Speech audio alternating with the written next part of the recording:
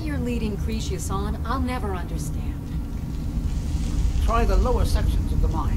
I've never been able to get that far. Why you're leading Cretius on, I'll never understand.